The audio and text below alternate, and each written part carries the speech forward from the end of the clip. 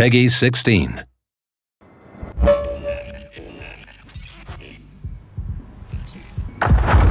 London, New Year's Eve 1999. While everyone else is getting ready to party, the Metropolitan Police are working overtime. Me? Let's just say I'm waiting for some fireworks of my own.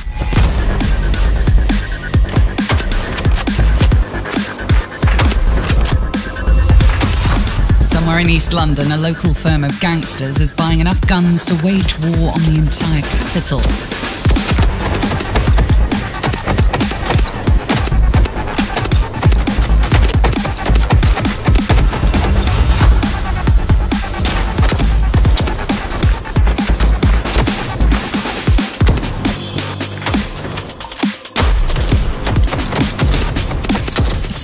To me to bring down the whole lot of them in the only way I know how kicking doors and shooting bad guys.